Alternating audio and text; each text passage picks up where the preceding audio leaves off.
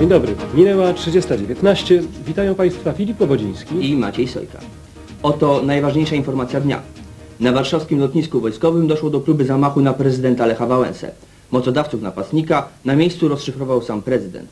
Panie prezydencie, jak pan zamierza postąpić e, w sytuacji zapowiedzianego odrzucenia weta, e, pańskiego weta wobec ustawy antyaborcyjnej i wobec weta, które wczoraj Sejm przyjął e, dotyczącego ustawy cukrowniczej? Jestem przekonany, że znów e, my mamy rację jako, jako Urząd Prezydenta i czas e, udowodni te racje. Y, Jestem przekonany, że wyciągniemy z tego wnioski. za tą... Miodu nie jadłem, ale dlaczego słodki jestem dać? No to Słuchajcie, ale zaraz, zaraz, zaraz, zaraz, zaraz, bo to wszystko... dlatego. Ale to cukrownicze. No, napuścio, napuszczono na mnie. Napastnik pojawił się w chwili, gdy prezydent odpowiadał na pytanie o weto do ustawy cukrowniczej. Weta, e, pańskiego weta wobec ustawy antyaborcyjnej i wobec weta, które wczoraj Sejm przyjął e, dotyczącego ustawy cukrowniczej. Jestem przekonany, że znów e, my mamy rację. Pojawienie się intruza wywołało zaniepokojenie wśród służb ochrony prezydenta. Przez chwilę wydawało się, że intruz dopnie swego, ale do akcji wkroczył sam z prezydent. tego. Miodu nie jadłem, ale dlaczego słodki jestem? Po chwili prezydent zdemaskował mocodawców napastnika. Dlatego. Ale to cukrownicze. No, napuścio, napuszczono na mnie. O Komentarz do przedstawiony przed chwilą. wydarzeń Poprosiliśmy prezesa Rady Ministrów Waldemara Pawlaka.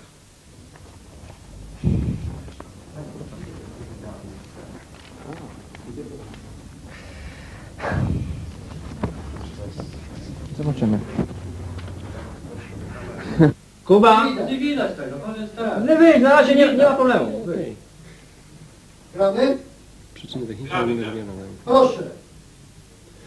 Przyczyny techniczne uniemożliwiają nam nadanie w tej chwili komentarza premiera. Wyemitujemy go w najbliższym możliwym terminie.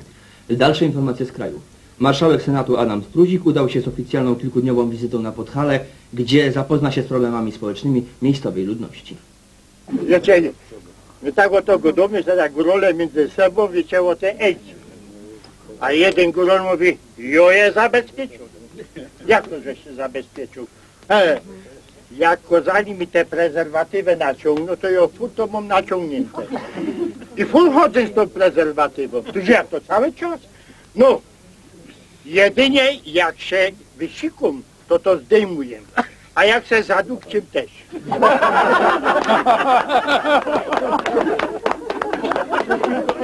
Wiadomości z zagranicy. Serbowie ostrzelali stanowiska muzułmańskie, muzułmanie ostrzelali stanowiska serbskie. Tymczasem Chorwaci ostrzelali własne stanowiska. Z naszym korespondentem w Moskwie Witoldem Laskowskim na temat ewentualnych reakcji Rosji rozmawia redaktor Jarosław Gugała. Podczas konferencji prasowej w Madrycie Jelcyn dał do zrozumienia, że Rosja uzależnia przystąpienie do natowskiego programu Partnerstwa dla Pokoju od rozwoju sytuacji w Bośni. Potem mówię, w Moskwie jest nasz korespondent Witold Laskowski i zadawam Ci pytanie. Aha. Pytanie jest następujące. Dlaczego Rosja stawia sprawę na ostrzu noża i uzależnia swój udział w partnerstwie od sytuacji w Bośni? Najprawdopodobniej dlatego, że odpowiada pan Witek.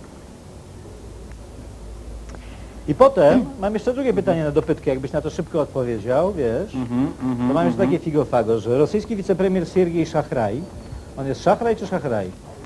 No, szachraj, ale to wszystko szachraj. Siergiej Szachraj Tak jest. Siergiej Szachraj powiedział, że natowskie ataki na bośniackich Serbów pod Gorażdę są ciosem dla rosyjskiej demokracji. Co ma piernik do wiatraka? Jaki jest związek między demokracją w Rosji a wojną w byłej Jugosławii? To jest zejście. Witek, co ty się tak nerwowo rozglądasz? Tam ktoś jest? Nie, patrzę na monitor, czy wszystko w porządku, mam słońce za plecami i wiesz, nie chcę, żeby wychodziło. Kapuję. O.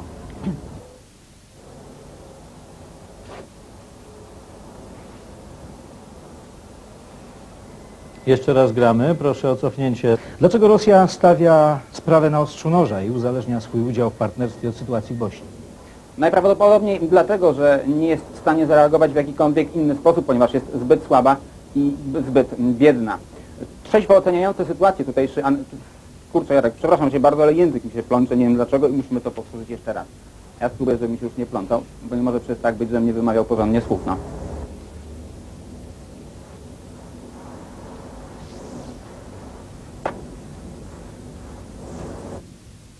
Komentarz prosto z ogarniętej wojną Bośni wygłosi nasz specjalny wysłannik Waldemar Milewicz. O ile oczywiście pozwolą mu na to tubylcy. W Serbii Slobodan Milošević znów jest narodowym bohaterem. Sprawił, że ludzie odzyskali nadzieję na lepsze życie. Zaś jeśli chodzi o rodaków w Bośni... Można? W Belgradzie aż huczy od plotek, że serbski przywódca zawarł z. W Belgradzie aż huczy od plotek, że serbski przywódca zawarł z ONZ-em tajny układ. Pozwolił na granicy z Bośnią rozmieścić obserwatorów, a w zamian Rada Bezpieczeństwa... Dalsze informacje z zagranicy. Dziedzictwo historii nadal straszy. Zarejestrowane przez naszego operatora za wschodnią granicą nierozbrojone miny przedstawi Jerzy Modlinger.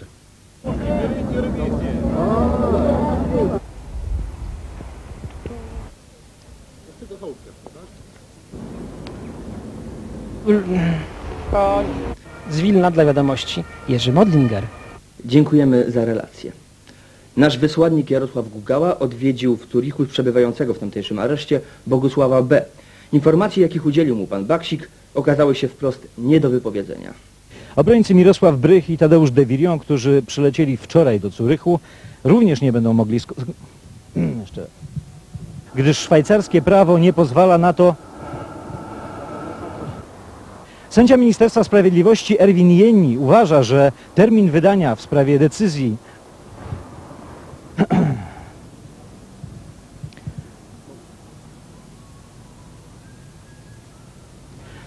Konsul Rzeczpospolitej Janusz Szczepkowski wbrew wcześniejszym zapowiedziom nie spotkał się dziś z Bogusławem Baksikiem, gdyż zatrzymany nie zwrócił się do władz polskich o pomoc prawną. Obrońcy Mirosław Brych i Tadeusz de Virion, którzy przylecieli wczoraj do Curychu, również nie będą mogli skąd...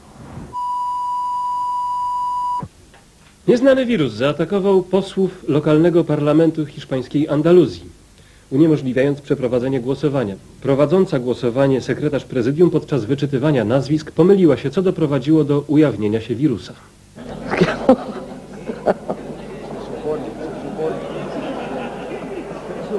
Debate. Pani sekretarz przystąpi do ponownego wyczytywania nazwisk, by dokończyć głosowanie poprawki zgłoszonej przez opozycję. Proszę Państwa o spokój i zachowanie maksymalnej ciszy.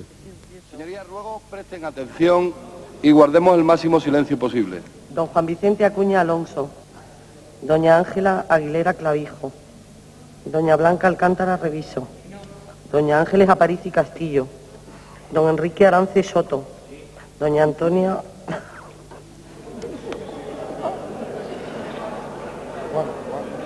Señorías, silencio, por favor. Proszę Izbę o ciszę. Señorías, señorías.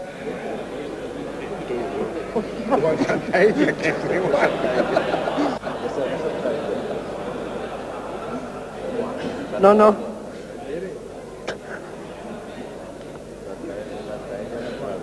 Puede continuar. Proszę kontynuować. Eh, señorías, si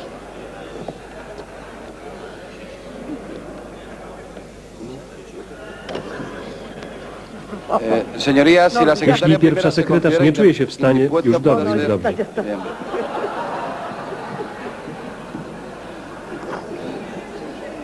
No, ya, ya. Señorías, silencio, por favor. Proszę o spokój. Kontynuuj- Kontynuujemy kontynuuj- wyczytywanie nazwisk. Con el llamamiento para votación.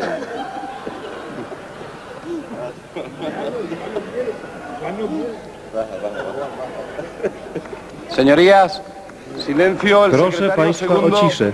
Drugi sekretarz, proszę o ciszę. Señorías, silencio, por favor. Silencio, por favor, señorías. Señor secretario.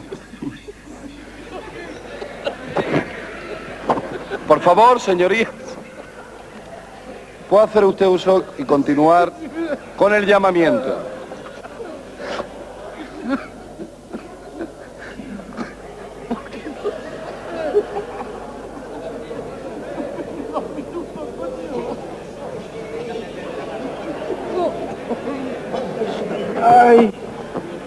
Señorías, silencio, por favor.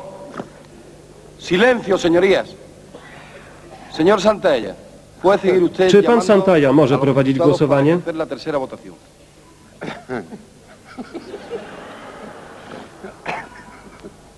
Juan Vicente Acuña.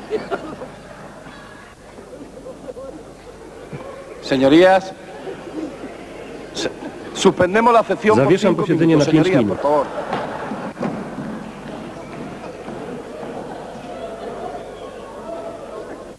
Powracamy do tematyki krajowej. Dział Gospodarczy Wiadomości przygotował sondę na temat bieżących problemów polityki budżetowej, rolnictwa i przemysłu motoryzacyjnego. Niestety w oparciu o te materiały, które budżet zawiera negatywne. Ale to jest zła odpowiedź moja generalnie. Od nowa. Jeszcze raz do nowa to Raz do samo. nowa. Proszę jeszcze raz, to jak Pani ocenia? Mhm. Mniej więcej to samo, tylko powiem Pani krócej, bo po co takie wieprzenie. Tak. Nie obs- zaobserwowaliśmy tego pozytywnego skutku wprowadzenia ustawy o opłatach wyrównawczych na rynku konsumenta. Tutaj opłaty wyrównawcze są w sposób nieuczciwy wykorzystywane do utrzymania, a wręcz windowania cen, za co konsument płaci i będzie jeszcze płacił i nic z tego, źle. Czego brakuje w sytuacji, e, w wiadomościach, wiedzy rządu? w tej chwili? To jest no, kwestia analizy praktyk, które stosuje Fiat, jeżeli chodzi o ceny, zasadności ruchów cenowych, dwa zobowiązań Polski w stosunku... Ja jestem po prostu tydzień po rzuceniu palenia, przepraszam. Rozumiem. To teraz spokojnie jeszcze raz. Posiedzenie Komitetu Doradczego przy Ministrze Spraw Wewnętrznych było jak zwykle bardzo owocne. Jego przebieg i wnioski zeń wypływające wyczerpująco ujawnia obszerny komunikat oficjalny.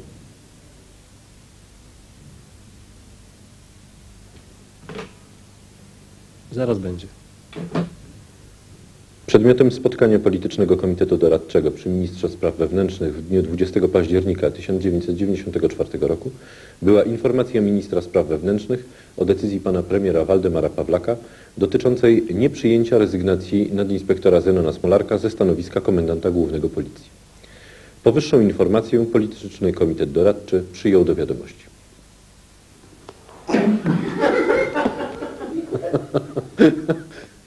To nie ja mówiłem. To nie ja mówiłem. Komendant stołecznej policji nadinspektor Jerzy Stańczyk zdementował pogłoski, jakoby policja planowała przewrót i obalenie władzy państwowej. Jeżeli policja cokolwiek chciałaby obalić, to y, no, tak y, na szczycie zniesień butelkę, wie pan, z okazji nominacji. Lub szampana, jak pan woli. Pora na informacje sportowe. Sport i rekreacja są przedmiotem głębokiej i nieustającej troski najwyższych władz z premierem Waldemarem Pawlakiem na czele. Z asystentką prasową premiera Ewą Wachowicz rozmawia reporter Teleekspresu Tomasz Adamczyk. Czy Pani jeździ dla zdrowia czy dla urody? Od jak dawna Pani w ogóle jeździ? Jakie sporty jeszcze Pani uprawiała? Dobrze? To bardzo proszę. Uprawiam sport przede wszystkim dla zdrowia, a zdrowie to uroda. E, Jeżdżę teraz najwięcej na rowerze, ponieważ e, to jest ogromna frajda. Taki rower z 18, przy- z 18 przerzutkami jest doskonały na miasto. Oprócz tego przede wszystkim takie jak ten górski e, na wycieczki poza miasto i na teren górzysty czy wszelkiego rodzaju tereny prawie nie do przyjechania, to można to wszystko zrobić. Poza tym, jeżeli chodzi o inne sporty, to pływanie, bieganie, jazda na wrotkach. Dawniej były jeszcze konie, ale odkąd jestem w Warszawie niestety nie udało mi się wsiąść na konia. Przynajmniej tego prawdziwego. Dziękuję. Bardzo się dziękuję. Było dobrze. Może Pani bardzo.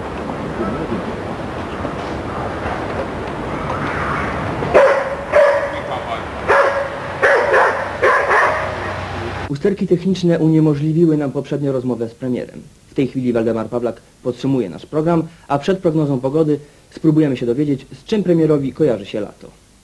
Także życzę tego, abyście podawali informacje i jak najmniej interpretacji. A z czym się Panu lato kojarzy? E, To już było pytanie poza programem, także cięcie tutaj jest. Czy mam grać? Dobry wieczór Państwu. Miało być dziś cieplej, ale nie było.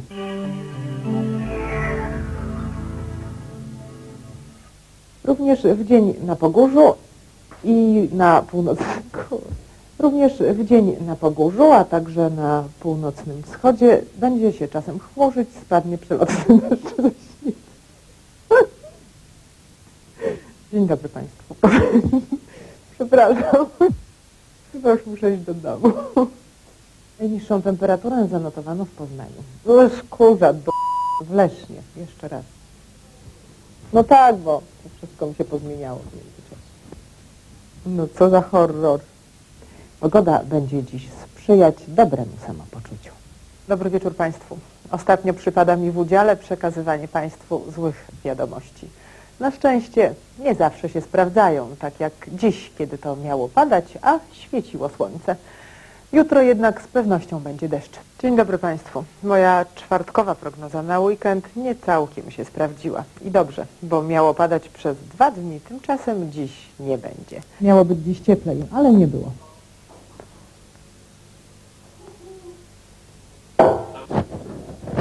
Czekaj, nie będę taki raptor, no pobawię się. A skąd wiesz? Co skąd Że ja wolę, jak będziesz raptus. Potężny wyż obejmuje niemal całą Europę. I prawie wszędzie jest... A, do... No. Wszystkie występujące w programie osoby są jak najbardziej autentyczne. Wszelka zbieżność nazwisk jest nieprzypadkowa i nieunikniona. Żegnamy się z Państwem. Do widzenia.